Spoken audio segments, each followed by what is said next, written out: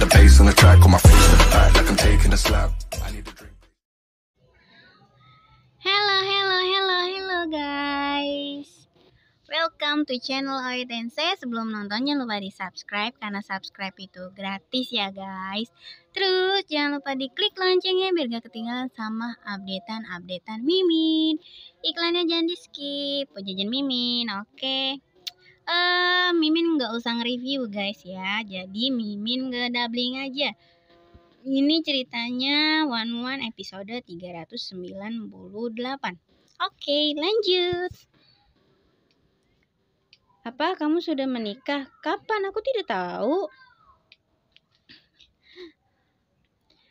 Kekasihmu ada di mana-mana, Sis Feng. Mana Wawan, kamu mengatakan kamu hanya bermain. Bagaimana bisa menikah dengan orang di Cina? Aku tidak setuju dengan pernikahanmu, katanya. Kamu terlalu banyak bicara, ini masalah pribadi Nona Wan Wan. Apa maksudmu terlalu banyak bicara? Aku melakukan ini demi saudari Wan Wan, kamu tahu. Ya gitu. Si Biduk ada-ada aja guys kawan wan ini benar-benar tidak bisa ber, tidak bisa maksudnya tidak berhasil atau tidak bisa jika kamu menikah dengan pria ini katanya gitu bagaimana dengan Kaisar Ji pas ngomong Kaisar Ji si Yehan langsung mukanya langsung suntuk banget bawahnya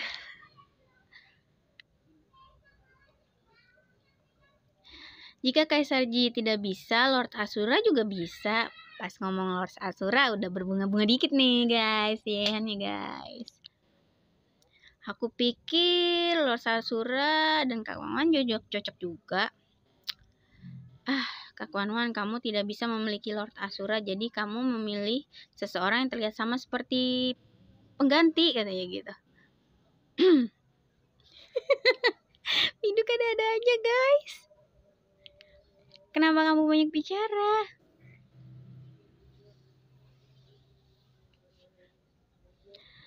Penatua ketiga, mengapa aku banyak bicara? Aku membantu uh, sis Wan menganalisa urusan pernikahan. Jika uh, saudari Wawan tidak bisa bersama Tuan Asura, Kak Sergi bisa dengan saudari uh, Kakak Sen gitu. Kan dia kaya, hartanya di mana-mana. Ntar kita juga bisa mendapatkannya gitu. Omong kosong, seberapa miskin kita, kata penatua kiri. Tidak buruk, kata si biduk guys. Nona Wan Wan, kamu sebaiknya melakukan perceraian dengan patriaksi dulu. Faktanya, tidak masalah apakah kamu punya uang atau tidak. Yang utama menurut saya, putra tertua dari keluarga Sen sangat enak dipandang. Maksudnya tampan, guys. Tapi tetap aja ujung-ujungnya ke uh, putra ke putra pertamanya Tuan Sen. Adikku otakmu ditendang keledai, uang bisa jadi makanan, katanya gitu. Tunggu, kamu tahu putra tertua dari keluarga Sen? Mungkinkah kamu pernah ke... Si Biduk mulai curiga nih guys. Untungnya pengawal si Yehan nih bisa berkilah guys. Belum pernah ke sana, belum pernah ke sana. Aku terus mengat kamu terus mengatakan kalau Tuan Sen itu baik untuk menjadi kaya, tapi menurut aku cinta sejati. Selain itu, uh, kakak laki-laki dan kakak ipar yang kesembilan semuanya sudah menikah. Mengapa kamu mencoba menunjuk dia di sini? Kalian, apakah kalian sudah cukup mengobrolnya?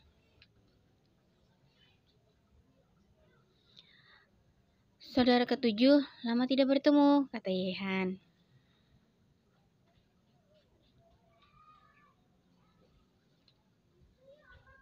Kakak sembilan, lama tidak bertemu, hatimu sudah hancur. Ini adalah masalah pribadi antara kita. Biarkan mereka kembali dulu. Ya, bagaimanapun juga, Yewanwan tetaplah guruku. Dan aku tidak pernah berpikir untuk menyakitinya sedikit pun. Jika aku tidak ingin memancingmu keluar, aku pasti sudah minum dan mengobrol dengan Yewanwan. Ngobrol boleh aja, tapi alkohol tidak. si biduk langsung nyela, guys. Takut terjadi tsunami, guys. Kembali dulu, ini masalah pribadi antara aku dan Lauki katanya.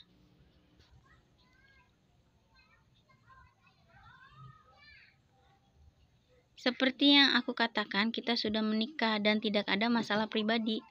Ngomong-ngomong, kamu mengatakan sebelumnya bahwa kita sudah menikah. Jadi apakah kita punya anak? Apa? Apakah kita punya seorang putra?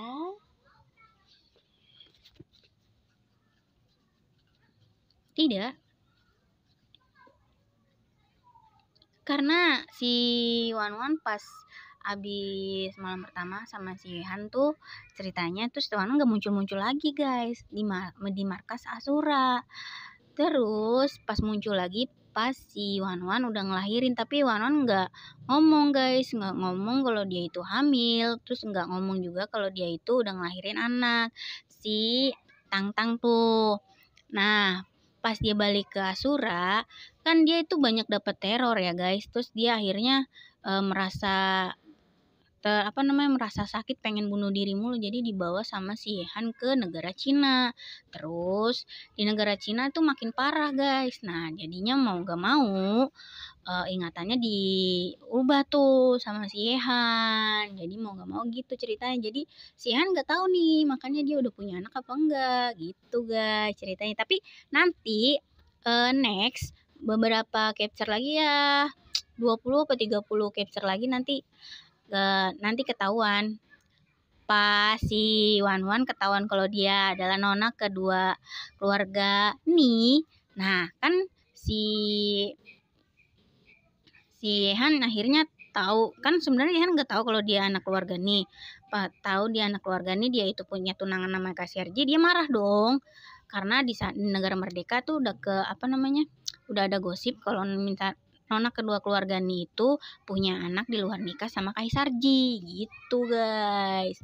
Tapi pas pas lagi ada pokoknya seru deh seru. Gimana kelanjutannya kalian saksikan aja deh.